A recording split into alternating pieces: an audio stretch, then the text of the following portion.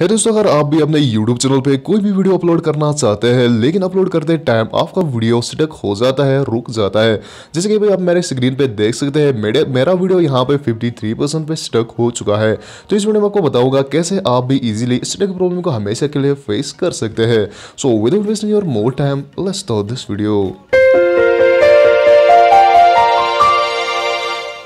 first of all दोस्तों, आपको अपने डाले हुए डिस्क्रिप्शन को और अपने डाले हुए टाइटल को कॉपी कर देना हो, कर देना होगा। जैसे कि मेरा वीडियो यहाँ पे 53 परसेंट पे सिडक हो चुका है, इसलिए मैं यहाँ पे अपने डिस्क्रिप्शन को सबसे पहले कॉपी कर दूँगा, ताकि बाद में मुझे इसमें डालने में कोई भी दिक्कत ना आ जाए, कोई भी परेशानी ना आ जाए। जैसे कि मैंने अभी यहाँ पे इसको कॉपी कर दिया, उसके बाद मैं इसको अपने सैमसंग नोट्स में, मेरे पास अभी सैमसंग का मोबाइल फ़ोन है तो मैं सैमसंग नोट्स में इसको कॉपी कर दूँगा। जिसकी भी मैंने कॉपी यहाँ पे पेस्ट कर दिया, यानी कि पेस्ट कर देने के बाद सेव कर दूँगा, उसके बाद यहाँ से मैं फ्रेश बैक आ जाता हूँ।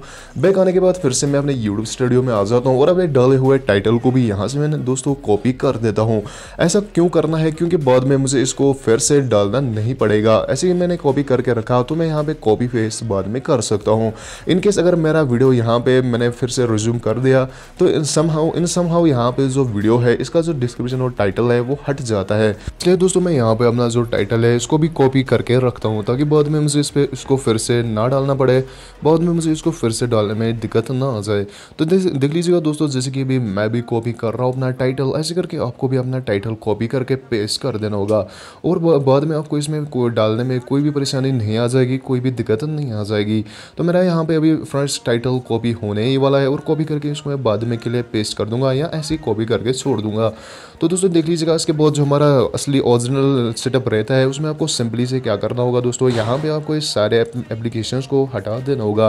मिनिमाइज़ करके यहाँ पे इसको मैंने हटा दिया। उसके बाद फिर से मैं क्रोम में वापस आ जाता हूँ। क्रोम में वापस आ जाने के बाद फिर से मैं वाइट स्टूडियो में आ जाऊँगा और फिर से मैं क्रिएट वाले ऑप्शन में आ जाऊँगा। तो दोस्तों, यहाँ पे एक बात का ध्यान रखना है। यहाँ पे आपको कोई भी स्टेप मिस नहीं करना है। ये तो हमारा नेक्स्ट स्टेप रहता है। यहाँ पे नेक्स्ट सेकेंड स्टेप यहाँ पर रहने वाला है। तो सेकंड स्टेप में जैसे कि मैं फिर से आता हूँ अपने यूट्यूब स्टूडियो में और फिर से मैं अपने यूट्यूब वाले वेबसाइट में आ जाता हूँ। तो दोस्तों, यहाँ पे थोड़ा सा टाइम लग रहा है। अभी मैं अपने रोडेक हो जाऊँगा। सीधे अपने यूट्यूब स्टूडियो में उसके बाद सिंपली से फ्रेंड्स यहाँ पे दोस्तों मैं क्रिएट वाले ऑप्शन पे क्लिक करके अपलोड वीडियो पे क्लिक कर दूँगा और यहाँ पे सिलेक्ट फ़ाइल पे क्लिक कर दूँगा। सिलेक्ट फ़ाइल पे क्लिक करते ही मैं, मुझे वही फ़ाइल चूज़ कर देनी है जिसको अभी भी मैंने 53 परसेंट पर सेटअप हुआ था।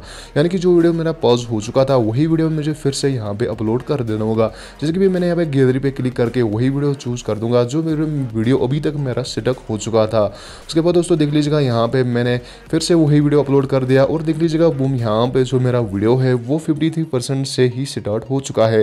तो दोस्तों, देख लीजिएगा, यहाँ पे 60 परसेंट अपलोड हो चुका है 62 परसेंट अपलोड हो चुका है और यहाँ पे मेरा वीडियो 100 परसेंट अभी अपलोड हो जाएगा। ऐसे करके दोस्तों, जो ये स्टक प्रॉब्लम है, ये आपकी भी हमेशा के लिए फिक्स हो जाएगी और आप भी एंजॉय कर सकते हैं वीडियो को अपलोड करने में विदाउट अनी सिकिप तो आप कोई भी सिकिप नहीं करना है अपने वीडियो को, कोई भी कट नहीं करना है अपने वीडियो को, आप इजिली इस प्रोसेस से, इस ट्रिक से अपना वीडियो फिर से रिज्यूम कर सकते हैं, फिर से रिस्टार्ट कर सकते हैं और इजीली अपने यूट्यूब चैनल पर अपलोड कर सकते हैं।